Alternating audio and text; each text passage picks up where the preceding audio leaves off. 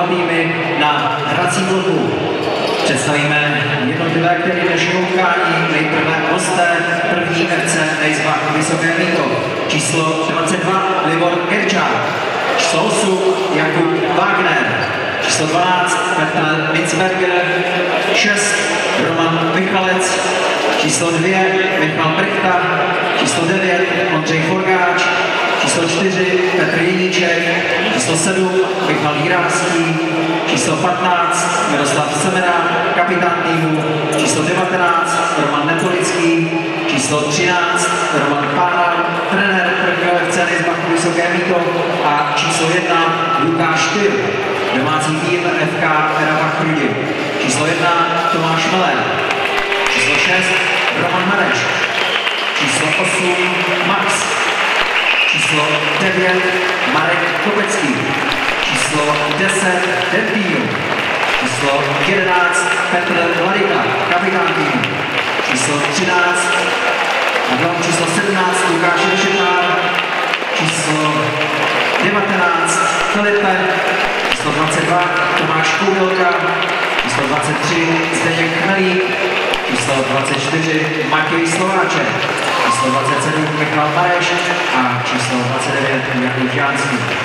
Dnešní utkání jako hlavní rozhodčí řídí pan Jan Kresta, druhý rozhodčí je pan Zdeněk Rybka a třetím rozhodčím tohoto utkání je pan Jiří Špí. Vítáme zde také delegáty tohoto utkání, pana Michala Chybu a pana Jana Pavlase.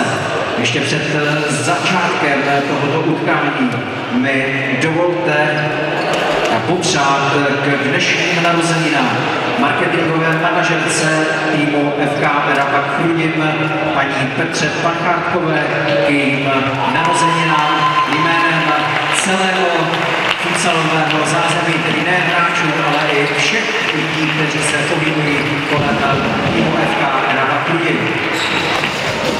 No a za 40 minut čistého času uvidíme, jestli tato série bude mít i čtvrté pokračování, nebo dnešní zápas bude poslední.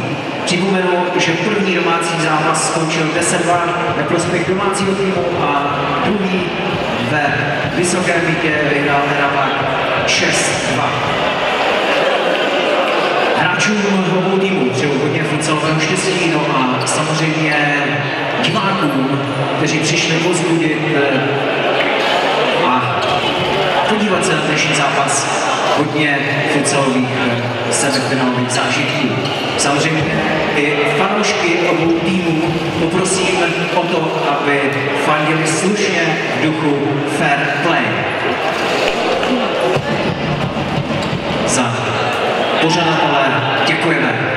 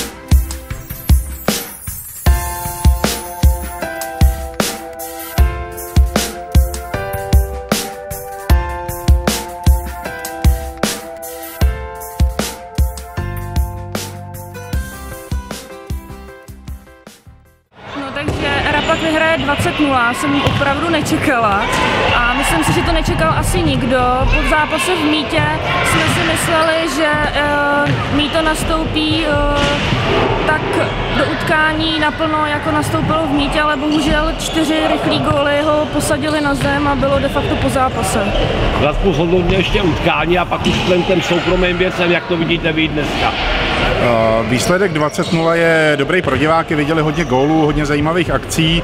Já z toho ale moc radost nemám, protože bych byl radši, kdyby tady v Čechách rostly týmy, který se Erapaku aspoň přibližují a výhra 20-0 domácím dneska nic nedala.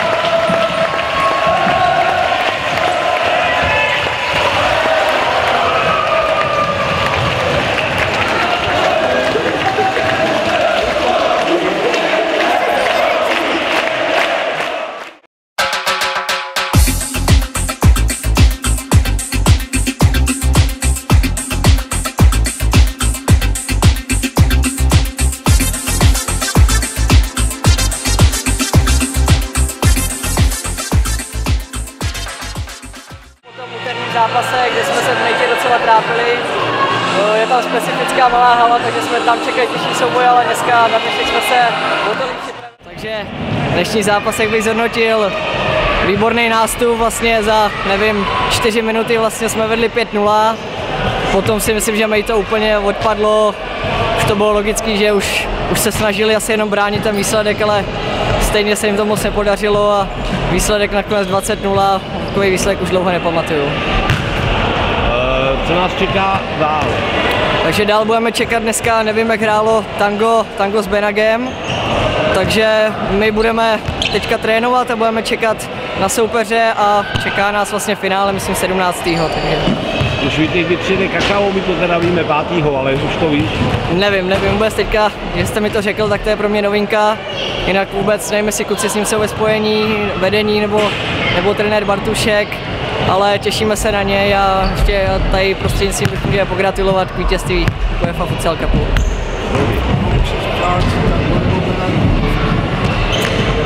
Hmm, spíš bych si přál Benago a je to asi jedno, kdo vyhraje, tak my se na něj dokážeme dobře připravit a budeme bojovat o další, o další mistrovský titul.